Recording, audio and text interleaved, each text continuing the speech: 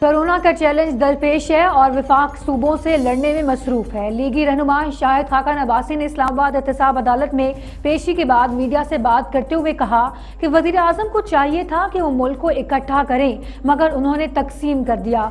शहबाज शरीफ बैरून मुल्क जा सकते हैं क्योंकि ये उनका हक है।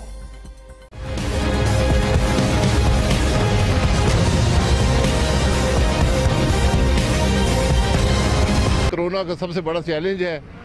और वफाक जो है वो सूबों से लड़ने में मसरूफ़ है। तो ये तो इस हुकूमत का पहले दिन से ही तरीका रहा है कि कोई अकल की बात, कोई काम की बात उनके करीब से नहीं गुजरती। हर किस्म की उल्टी सीधी बात, और स्पेशली इस इतने बड़े क्राइसिस में जब हुकूमत का काम था प्राइम मिनिस्टर का काम था कि मुल्क को इकट्ठा करे, उन्होंने पूरे मुल्क को डिवाइड करके रख दिया। शहबाज शरीफ बैरून मुल्क जा सकते हैं, उनका हक है। ये हर पाकिस्तानी का हक है, जहाँ मर्ज़ी सफ़र करे। तो उन्होंने जाना हो तो ज़रूर जाएँगे।